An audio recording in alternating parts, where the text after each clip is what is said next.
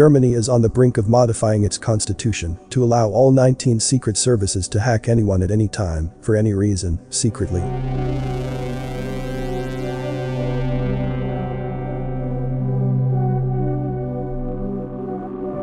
We are witnessing in every Western country a rapid transformation of what were formerly free countries into police states.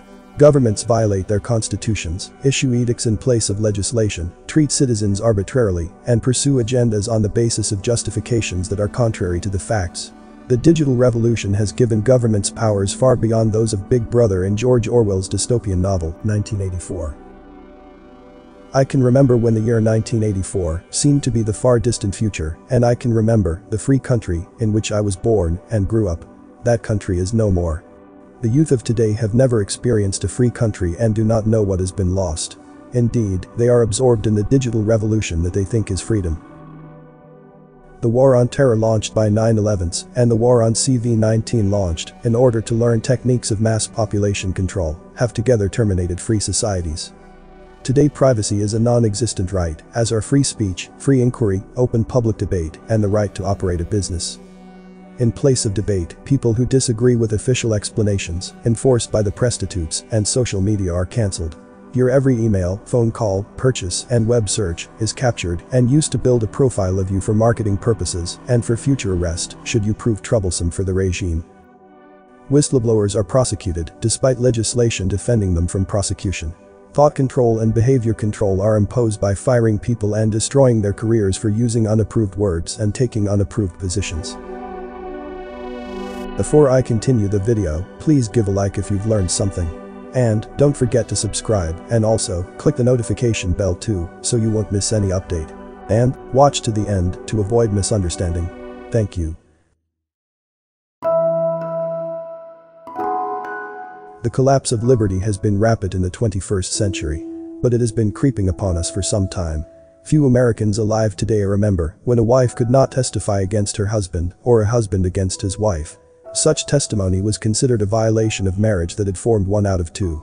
It was self-incrimination, which is prohibited by the US Constitution in those days when the Constitution was respected and had authority. Few who are alive remember that the marriage contract was in part a sexual contract and there was no such thing as wife rape.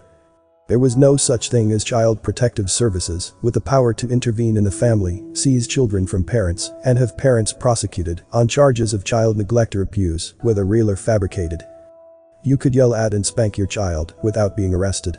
You didn't live in fear that bruises from sports activity or falling off a bike would be noticed by a school teacher, doctor, or neighbor and result in an intrusion into the family by Child Protective Services, determined to prosecute parents in order to justify the budget. Kids of my generation were free to be wherever they chose to be, without adult supervision on weekends, holidays from school, and summers, as long as they were home by dinner time. Our bikes made us mobile, and we could be anywhere in range of a bike and a pair of legs, and our parents weren't arrested for child neglect. It was mass third world immigration, integration of formerly stable homogeneous neighborhoods, and the rise of the pedophile sex trade that made children no longer safe. Multicultural society failed to protect children and began persecuting parents instead. A person could start a car without, if it had a manual transmission, having to push the clutch pedal to the floor. A person could drive away without having to put on a seatbelt or endure endless beeping. Soon, if not already, you must be strapped in, or the car will not move. The range of free judgment has been greatly narrowed. Even the appliances we use bully us. I could go on at great length, but it is too depressing.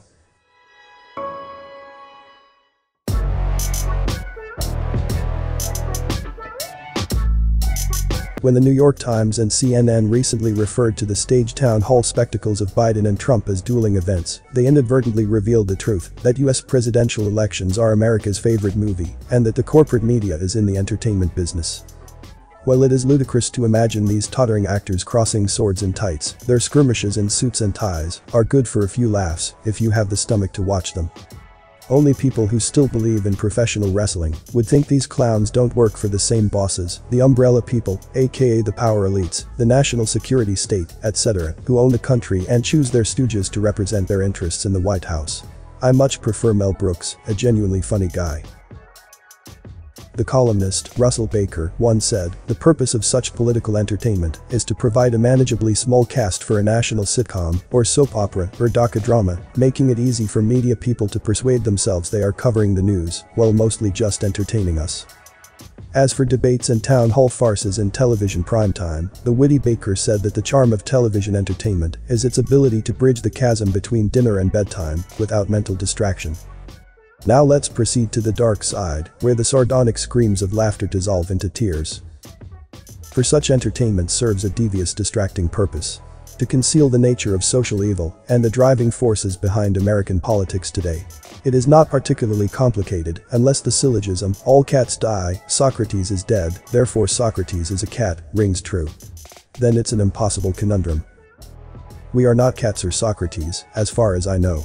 But like them, we will also die. Everyone knows this, but the thought of death is not particularly have a nice dash, so people deny it as much as possible in a host of ways. Most people prefer life over death, and when death does approach and can no longer be denied, most hope for immortality in some way, shape, or form. Yes, there are those who assert this isn't true for them, and there is no reason to doubt their sincerity. There are philosophical arguments to support their position, such as that of the Roman poet Lucretius in his famous poem, De Rerum Natura, or On the Nature of Things. But I would maintain with the great psychoanalyst, Rollo May, that all such naturalistic efforts, including Lucretius's, to explain away human anxiety rooted in death, founder on the human emotions of pity, grief, love, and loneliness. Rational explanations take us only so far.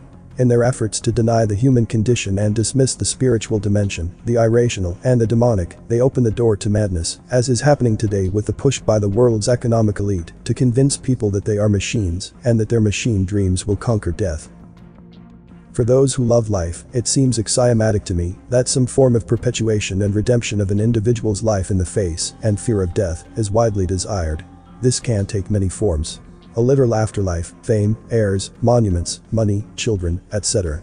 History is quite clear that people have always sought some way of transcending their physical fates.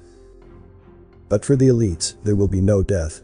For having realized that their stolen wealth and power can only take them so far, and they too will become food for worms, they have commandeered science and medicine to undertake their immortality projects. If medicine fails to find for them the secret of immortality, then computer science and artificial intelligence will, and they will be uploaded into computers and live forever in their beloved cyberspace. Digital immortality is not a joke for these people, see Kurzweils, the director of engineering at Google, the singularity etc., for they are actually insane, but hold key positions throughout the computer and biotechnology industries. Check where the super rich invest their money to confirm this. None of it is secret. Comment below with more topic ideas for me to discuss. As a lot of care and hard work goes into this, likes and subscribe, let me know I'm doing a good job. All is appreciated greatly. You may not agree with everything from the content I post. Apply critical thinking and use discernment to come to your own conclusions regarding the content. Thanks for watching this video. This Everything Inside Me channel, see you on the next video. Stay safe and healthy.